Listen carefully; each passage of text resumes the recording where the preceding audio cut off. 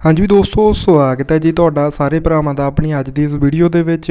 ਆਪਾਂ ਸੇਲ ਲਈ ਟਰੈਕਟਰ ਲੈ ਕੇ ਆਏ ਹਾਂ ਜੀ, ਮਹਿੰਦਰਾ 475 DI ਟਰੈਕਟਰ ਦੀ ਆਪਾਂ ਸਾਰੀ ਜਾਣਕਾਰੀ ਤੁਹਾਨੂੰ ਵੀਡੀਓ ਦੇ ਵਿੱਚ ਅੱਗੇ ਦੱਸਾਂਗੇ, ਬਣੇ ਰਹੋ ਵੀਡੀਓ ਦੇ ਨਾਲ। ਸੋ ਜਿਹੜੇ ਭਰਾ ਵੀਡੀਓ ਆਪਣੀ ਇਹ YouTube ਤੇ ਦੇਖ ਰਹੇ ਨੇ ਚੈਨਲ ਨੂੰ ਸਬਸਕ੍ਰਾਈਬ ਕਰ ਲਿਓ ਜੀ। ਤੇ ਜਿਹੜੇ ਭਰਾ ਵੀਡੀਓ ਆਪਣੀ ਇਹ Facebook ਤੇ ਦੇਖ ਰਹੇ ਨੇ ਪੇਜ ਨੂੰ ਫੋਲੋ ਜ਼ਰੂਰ ਕਰ ਲਿਓ। ਨੰਬਰ ਆਪਣੇ ਚੈਨਲ ਦਾ ਸਕਰੀਨ ਤੇ ਚੱਲ ਰਿਹਾ ਹੈ। ਇਸ ਨੰਬਰ ਤੇ ਤੁਸੀਂ ਆਪਣੇ ਸਾਧਨ ਦੀਆਂ 5-7 ਫੋਟੋਆਂ ਜਾਂ 2 ਮਿੰਟ ਦੀ ਵੀਡੀਓ ਬਣਾ ਕੇ ਭੇਜ ਸਕਦੇ ਹੋ ਜੀ ਐਡ ਕਰਵਾਉਣ ਦੇ ਲਈ।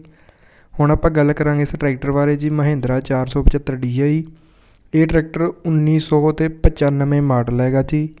ਪੰਜਾਬ ਨੰਬਰ ਹੈ ਟਰੈਕਟਰ ਇਹ। ਜੇ ਆਪਾਂ ਟਾਇਰਾਂ ਦੀ ਗੱਲ ਕਰੀਏ ਤਾਂ ਅਗਲੇ ਟਾਇਰ ਹੈਗੇ ਨੇ ਟਰੈਕਟਰ ਦੇ ਲਗਭਗ 90 ਪੈਸੇ। ਮਗਰਲੇ ਟਾਇਰ ਹੈਗੇ ਨੇ ਜੀ ਟਰੈਕਟਰ ਦੇ ਲਗਭਗ 50-55 ਪੈਸੇ।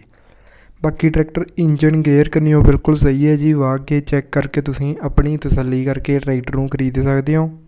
ਮਾਲਕ ਵੀਰ ਵੱਲੋਂ ਪੂਰੀ ਫੁੱਲ ਗਾਰੰਟੀ ਹੈ ਟਰੈਕਟਰ ਦੀ। ਮਾਲਕ ਵੀਰ ਵੱਲੋਂ ਟਰੈਕਟਰ ਦਾ ਰੇਟ ਰੱਖਿਆ ਗਿਆ 190000 ਰੁਪਿਆ ਜੀ।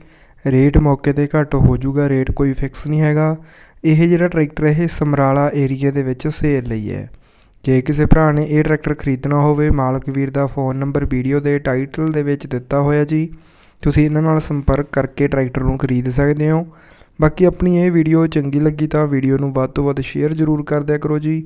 ਤਾਂ ਜੋ ਕਿਸੇ ਵੀਰ ਨੇ ਕੋਈ ਟਰੈਕਟਰ, ਖੇਤੀਬਾੜੀ, ਮਸ਼ੀਨਰੀ ਵਗੈਰਾ ਖਰੀਦਣੀ ਹੁੰਦੀ ਹੈ ਵੀਡੀਓ ਦੇਖ ਕੇ ਵੀਰ ਖਰੀਦ ਸਕਦੇ ਨੇ। ਵੀਡੀਓ ਦੇਖ ਲਈ ਤੁਹਾਡਾ ਬਹੁਤ ਬਹੁਤ ਧੰਨਵਾਦ ਜੀ। ਮਿਲਦੇ ਹਾਂ ਜੀ ਕਿਸੇ ਅਗਲੀ ਵੀਡੀਓ ਦੇ ਵਿੱਚ।